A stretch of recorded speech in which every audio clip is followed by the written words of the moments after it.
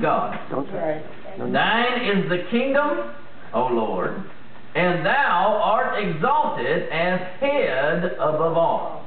Amen. Nobody will argue that, would you? No. Verse 12. Both riches and honor come of thee. Now you get that? Riches come from the Lord. That's what it says right here. Both verse 12. Both riches and honor come of thee, and thou reignest over all, and in thine hand is power and might, and in thine hand it is to make great and to give strength unto all. Hallelujah. Do you see that?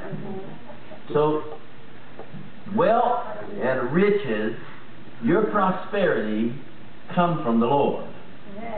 Now, there is a world's prosperity. There is a prosperity of the world that uh, uh, is attainable through hook and crook, but it's not an eternal prosperity. We're talking about a prosperity that lasts not only in this life, but the life to come. Hallelujah.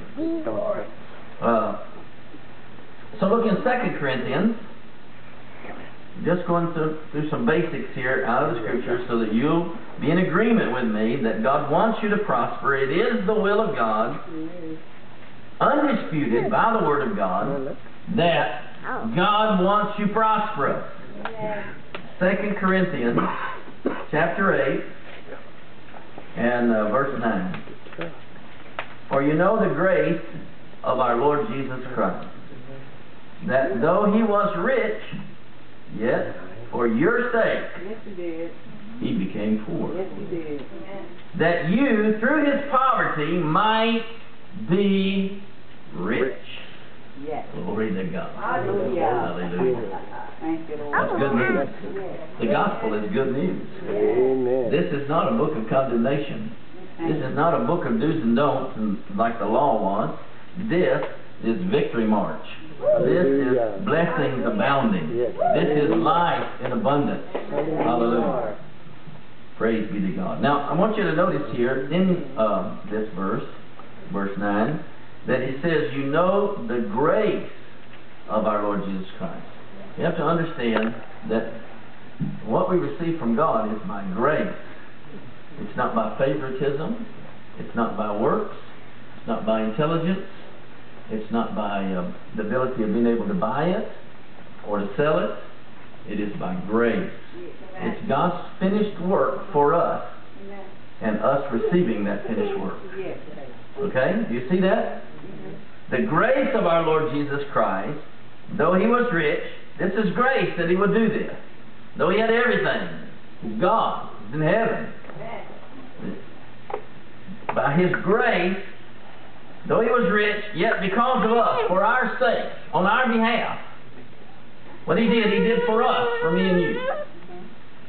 Hallelujah. He became poor, that you through his poverty might be rich. Thank you, Lord. That's good news. Amen. Look in Psalms. Let's go through a few Psalms. We're establishing the fact that, uh, Psalm 1, first Psalm. We're establishing the fact that God's Word tells us it is the will of God for you and I to prosper, to have a little bit of change in our pockets. Maybe a lot of change. Hallelujah. Psalm 1, verse 1. Blessed is the man that walks not in the world's counsel. Oh, excuse me. Counsel of the ungodly. I'm glad you guys got a Bible out there. Hallelujah. Nor standeth in the way of sinners, nor sitteth in the seat of the scornful. But his delight is in the law of the Lord. That'd be the whole counsel of God, the Word of God. And in his law does he meditate day and night. Verse 3 And he shall be like a tree planted by the rivers of water, that bringeth forth his fruit in his season. His leaf also shall not wither. Now look at this. And whatsoever he doeth That's right. Shall prosper. shall prosper. Yes. Whatever you do will prosper. Do you believe that? Amen. Hallelujah. Well, you got to believe it to receive it. If the devil can interject some reasonable excuse why it's not going to work for you, and you bite that, you take it, then you miss out. At least until you wake up. Praise the Lord. But whatever you do shall prosper. That's the will of God for you. Psalm 35. Psalm 35. Praise the Lord. And verse 27. Let them shout for joy and be glad that favor my righteous cause. Yea, let them say continually, Let the Lord be magnified, which hath pleasure in the prosperity of his servant. Hallelujah. God has pleasure in your prosperity.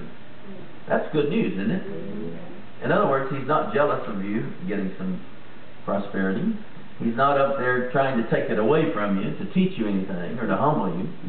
Praise the Lord. That's like some current teachings are out there.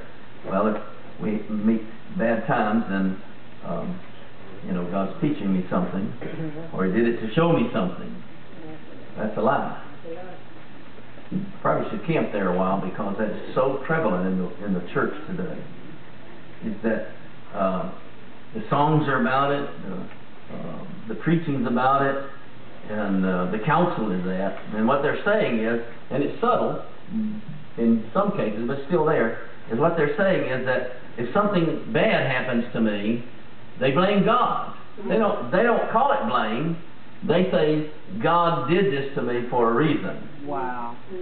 And when they're saying that, they really are putting blame on God, and what they're doing is they're calling evil good, what the scriptures say is wrong to do. Because what they're saying is that what devil, the devil actually did to me or someone, they're attributing it to God, trying to make it look holy. It's not holy for somebody to get hurt, or have a calamitous accident,